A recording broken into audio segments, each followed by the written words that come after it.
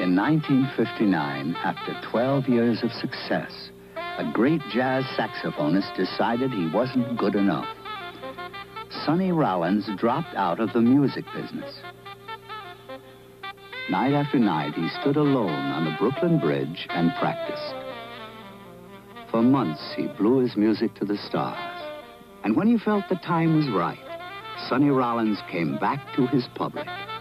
Since then, his records have earned the highest acclaim. And today, Sonny Rollins is, at last, good enough. This uncompromising dedication to music is something Pioneer understands. So we design our hi-fi components to let you get everything out of music that a musician puts into it. That's what's made us number one today with people who care about music. Pioneer, we bring it back alive.